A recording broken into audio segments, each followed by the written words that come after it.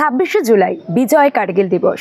এই বিজয় কার্গিল দিবস কি এবং ইতিহাসের পাতায় এর মাহাত্ম কতটা তা বোঝানোর জন্য বিশ্বজিৎ নাগ এবং তার সঙ্গে আরও পাঁচ সদস্য মিলে তৈরি করেছেন বারো ফুটের একটি ফানুস।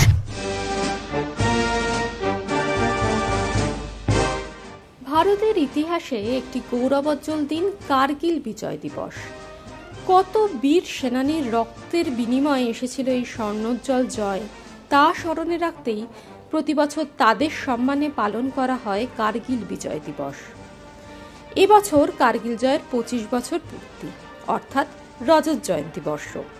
এই দিনের মাহাত্ম বোঝাতে গেলে ফিরতে হবে সেই উনিশশো আটানব্বই নিরানব্বই সালে। সে বছর শীতকালে আচমকা পাকিস্তানি সৈন্য এবং জঙ্গিরা জম্মু কাশ্মীরের কার্গিল জেলায় অনুপ্রবেশ করে। এই কার্গিলই কেন ছিল টার্গেট? আসলে কার্গিল জেলার ভৌগোলিক অবস্থান এমন যে কাশ্মীর ও লাদাখের মধ্যে সংযোগ বিচ্ছিন্ন করতেই এই জেলাকেই টার্গেট করেছিল পাকিস্তান। পাকিস্তানকে জবাব দিতে কার্গিল পুনরুদ্ধারে মে মাসে ভারতীয় সেনা নামে অপারেশন বিজয়। দু মাসব্যাপী ভয়ঙ্কর যুদ্ধের পর বহু বীর সেনানীর বলিদানের বিনিময়ে কার্গিল পুনরুদ্ধার করতে সক্ষম হয় ভারতীয় সেনা। ফের কার্গিলে উঠতে দেখা যায় তিরঙ্গাকে। কার্গিল জয়ে ভারতীয় সেনার লড়াই ও আত্মবলিদানকে স্মরণে রাখতেই প্রতি বছর ছাব্বিশে জুলাই কার্গিল বিজয় দিবস হিসাবে পালন করা হয়। কলকাতার গোয়াবাগান অঞ্চলেও এদিন কার্গিল বিজয় দিবস উপলক্ষে আয়োজন করা হয়েছিল একটি অনুষ্ঠানের। সেখানে সেনার সম্মানে ওড়ানো হলো একটি ফানুস উপস্থিত ছিলেন কার্গিল যুদ্ধে অংশ নেওয়া এক ভারতীয় সেনার সেনানীয় কেমন ছিল পঁচিশ বছর আগের সেই সময়ের অভিজ্ঞতা? জানালেন ভারতীয় সেনার প্রাক্তন হাবিলদার সঞ্জয় বটব্যাল। আমি রজৌরিতে ছিলাম ওই সময়তে। আমাদের ওখানে প্রচণ্ডভাবে কাগজেও দেখা যেত যে এরকম এখানে বোমা মেরেছে। কাগজ করলে পরে রজৌরি পুঞ্জ নসেরা এগুলো সমস্ত কিছু দেখা যেত কাগজ করলে এবং আমরা যেখানে ছিলাম, আমি অ্যাজ এ ক্রিপ্টোলজিস্ট ওখানে কাজ করতাম। আমাদের তখন ওই সময়টাতে সব যারা ফ্যামিলি মেম্বার তারা সব ছুটি চলে যায়।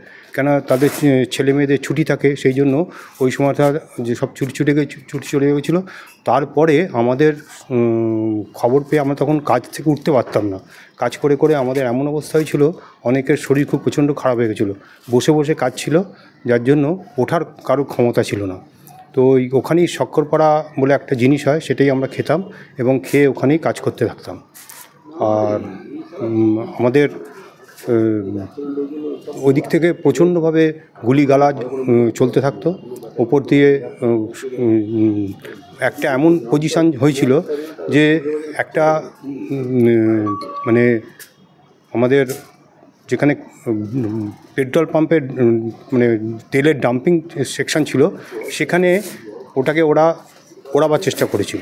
তো সেদিনকে ওই লাইট টিউবলাইটটা জ্বলেনি। টিউবলাইটটা না জ্বলাতে আগের টিউবলাইটে গিয়ে সমস্ত কিছু রকেট লঞ্চারগুলো পড়ছিল আর আমাদের মাথার উপর দিয়ে সেই রকেট লঞ্চারগুলো যাচ্ছিল। এরকম সব পজিশন অভিজ্ঞতা তো তাহলে খুব ভয়াবহ। হ্যাঁ খুব ভয়াবহ। এত বছর পর এসে বিজয় কার্গিল দিবসে এই যে ফানুস ওড়ানোর বিষয়টা সেটা নিয়ে কি বলবে এটা খুব আমার আনন্দ লাগল যে এরকম এরকম একটা একটা ইয়ে হলো।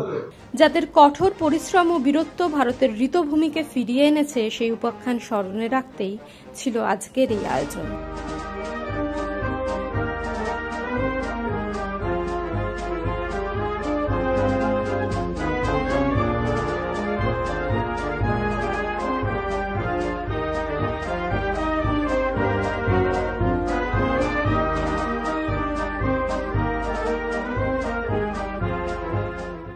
হ্যাঁ আমি করেছি। এই ফানুসে কি কি বিশেষত্ব রয়েছে?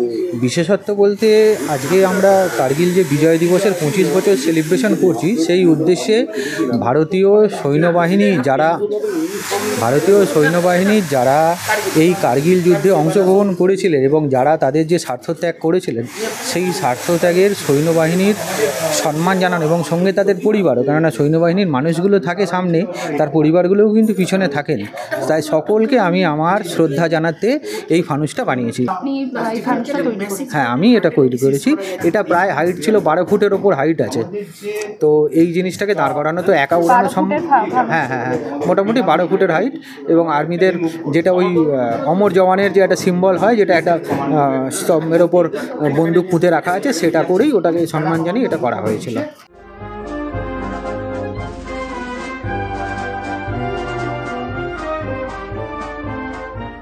যে কার্গিল যুদ্ধটা পঁচিশ বছর আগে হয়েছিল। কারণ অনেক প্রজন্ম আছে যারা- যারা অত এটা জানে না শোনেনি।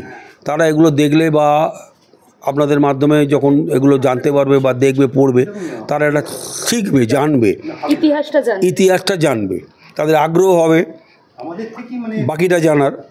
আর যারা জানেন তাদের নতুন করে মনে করানো যে হ্যাঁ পঁচিশ বছর আগে কার্গিল যুদ্ধ হয়েছিল।